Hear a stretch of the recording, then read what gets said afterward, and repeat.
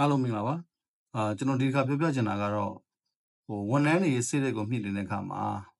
ကျေးဇူးတင်စကားလေးနဲ့မြင့်တင်လို့ရတယ်ဆိုတဲ့အကြောင်းလေးကိုကျွန်တော်ပြောချင်တာဆိုတော့ဟိုဝန်ထမ်းကတော့ပုံမှန်အဖြစ်တော့အားလုံးကတော့လာစားလို့ကျွန်တော်လုံးလုံးကြတာပေါ့သို့တော့ဝန်ထမ်းအားလုံးရဲ့စိတ်ထဲမှာပတ်စံရရင်ပြီးရောလားဆိုတဲ့ဥစ္စာတော့ကျွန်တော်မြင်တာတော့မဟုတ်ဘူးဆိုတော့ကျွန်တော်သိချာနားလေတယ်အဲ့တော့တခါလေကိုကမန်နေဂျာဖြစ်တဲ့အချိန်မှာကျွန်တော်တို့ရဲ့လက်အောက်ကဝန်ထမ်းတွေကိုကျွန်တော် motivation ရဖို့အတွက်သူတို့ရဲ့စိတ်ဓာတ်ပန်းဆိုင်တက်ကြွဖို့အတွက်ကျွန်တော်လိုရတဲ့အချိန်တွေအများကြီးရှိတယ် ပြဿနာကဘာလဲဆိုဝန်ထမ်းတွေကအလုပ်ကအရင်ရှုံနေပြီဒါပေမဲ့ကျွန်တော်မှကဘတ်ဂျက်ကလည်းလုံလောက်မရှိဘူးဆိုလိုချင်တာက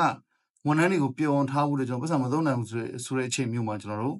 ဘာလို့တင်လဲဆိုတဲ့ဥစ္စာမျိုးကိုကျွန်တော်တို့ကပြောပြချင်တာပေါ့နော်အဲ့တော့လာစာတူပြီးတာယာရုတူပြီးတာလောက်တော့ကျွန်တော် impact ရှိမှရှိမယ်သို့တော့အဲကျွန်တော်တို့ symbolic awards ဆိုခေါ်တာပေါ့နော်အာ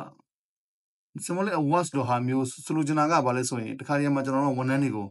thank you လို့စာလေးရေးပြီးဖြစ်ကောင်းဖြစ်မယ်တခါတည်းမှာလူရှိမှပြန်ပြီးတော့ချီးကျူးတဲ့ဥစ္စာမျိုးလည်းကျွန်တော်ဖြစ်တတ်တယ်ဒါမျိုးလေးတွေပေါ့နော်အာလက္ခဏာကိုခြေပြုတ်တဲ့ချီးမြှင့်တဲ့ဟာမျိုးပေါ့နော်ဆိုလိုချင်တာပုံစံပြုတ်ချီးမြှင့်တယ်ကျွန်တော်ပြောလို့ရရတယ်အဲ့အဲ့အမျိုးလေးတွေကတခါတည်းမှာကြားတဲ့ခါကျလို့ရှိရင်ဝန်ထမ်းရဲ့စိတ်တဲ့ပိုင်းကိုပို့ပြီးတော့တိုးတက်စေတယ်အာဖြစ်နိုင်ရင်တော့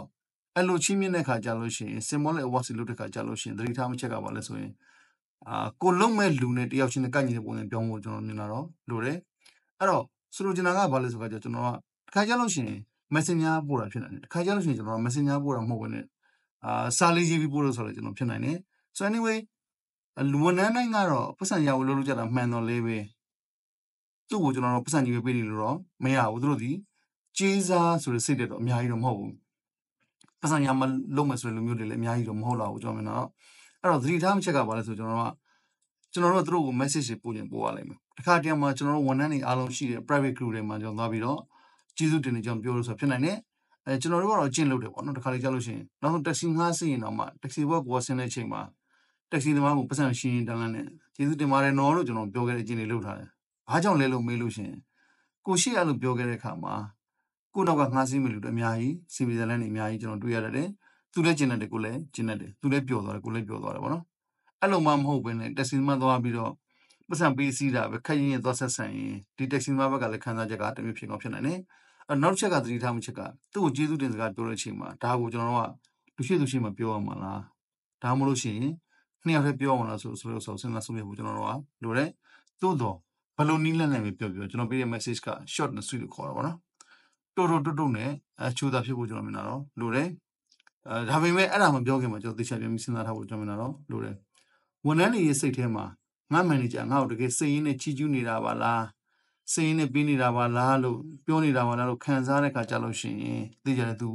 ပြောမှလားမေးပြောမှာဒီလိုလူမျိုးနဲ့လှုပ်တွဲလို့တော့သူသိပြီးတော့အာစိုးရင်စိတ်တွေများပြီးတော့စိတ်ညစ်နေမှလားမေးကြောမလားမဟုတ်ဘူးတကယ်ကိုချီးကျူးစရာအခွင့်အလမ်းကိုလည်းမြင်တတ်ပြီးတော့တကယ်ကိုလည်းစိတ်လိုလည်းချီးကျူးတတ်တဲ့ခေါင်းဆောင်မျိုးနောက်ကိုဝန်ထမ်းတွေလိုက်ဖို့ကျွန်တော်မြင်တာတော့အစဉ်ရှိနေပါတယ်ဆိုတော့ကျွန်တော်တို့တွေကကျွန်တော်ဆရာကြီးတော်တော်တင်ဝင်ဆုံးသွားပါပြီသူပြောခဲ့သလိုပေါ့နော် ကျွန်တော်လုပ်ရမလုပ်ကပါလဲဆိုရင် အလကားရတဲ့လေကိုသုံးပါသူရင်းမွေလည်းအလကားပတ်စံတစ်ပြားမှကုန်ကြမလို့တဲ့ thank you ဆိုစကားလေးနှလုံးမှာကျွန်တော်ဝန်ထမ်းတွေရဲ့ motivation ကိုဘယ်လောက်ထိမြင့်နေပေးနေလဲဆိုဆိုတဲ့ဥစ္စာကို